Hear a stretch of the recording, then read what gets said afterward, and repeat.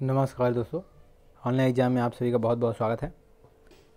दोस्तों वीडियो शुरू करने से पहले, अगर आप ये वीडियो पहली बार देख रहे हैं तो सब्सक्राइब बटन पे प्रेस करके सब्सक्राइब कर लीजिएगा और बेल आइकन ज़रूर दबाएगा जिससे कि जैसे ही यूपी पुलिस कोई रिलेटेड न्यूज़ आएगी, वो तुरंत आप तक पहुँच जाएगी, जिससे कोई भी अपडेट आपसे मिस नहीं हो पाएगा। चलिए वीडियो शुरू करते हैं। वीडियो में आपको ये बताने वाला हूँ कि यूपी पुलिस 2018 भर्ती का पहला शिफ्ट का जो पेपर कई यूट्यूब पे बोला जा रहा था कि मैं करवा के रहूँगा, मैं जो कहूँगा वही होगा, ये होगा, पहला भी कैंसिल होगा, पूरा कैंसिल होगा। तो अभी इसके बारे में कुछ नहीं कहा जा सकता। अभी आज बोर्ड की मीटिंग हुई है, उसमें बोर्ड ने ये कहा है कि पहले शिफ्ट का जो पेपर है, वो हम अभी कैंसिल करने के मूड में नहीं है। बिल्कुल ही बोर्ड अभी पहले शिफ्ट का पेपर कैंसिल करने के मूड में नहीं है। वो अपनी पूरी तैयारी है कि केवल सेकेंड शिफ्ट के जो एग्ज़ाम है यूपी पुलिस का जो कैंसिल हुआ है वही एग्ज़ाम वो करा ले जल्दी से ताकि इस साल की अंत तक भर्ती क्लियर कर दी जाए। क्योंकि अगर पहली शिफ्ट का एग्ज़ाम कैंसिल कराया जाता है तो दो गुना वर्कलोड हो जाएगा, पूरा पेपर एक एक तरह से फिर से कराना पड़ जाएगा और फिर से पूरी मेरिट लिस्ट बनेगी और फिर से उसमें अगर कोई बवाल हुआ तो फिर से पूरा मतलब प्रोसेस चलेगा।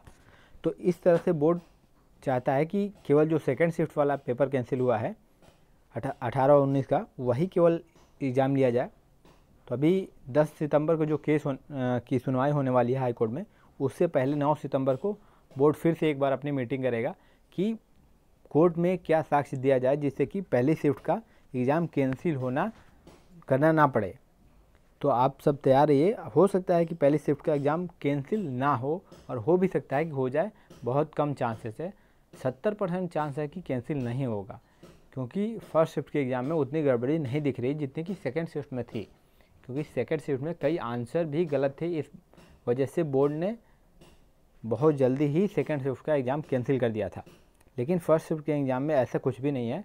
ना तो आंसर ही ज़्यादा गलत है और ना ही उसमें कोई वो एग्ज़ाम पेपर लीक हुआ है या पहले का दूसरी में दूसरी का पहले में बटा हो। इस वजह से पहली शिफ्ट का एग्ज़ाम कैंसिल होना मुश्किल लगता है। पहले शिफ्ट का एग्ज़ाम कैंसिल नहीं भी हो सकता है और हो भी सकता है। कुछ कह नहीं सकते ये तो दस तारीख को आपको पता चलेगा। आपको अभी तक तो ये समझ में आ गया होगा कि यूपी पुलिस का कोई भी भर्ती बिना कोर्ट में जाए हुए रह नहीं सकती।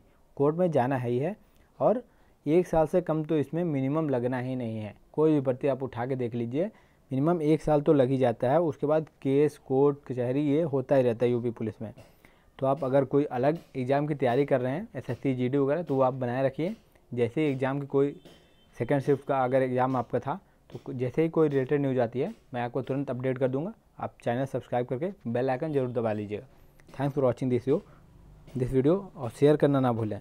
इस वीडियो को ज़्यादा से ज़्यादा शेयर कीजिएगा ताकि सभी तक पहुँच पाए।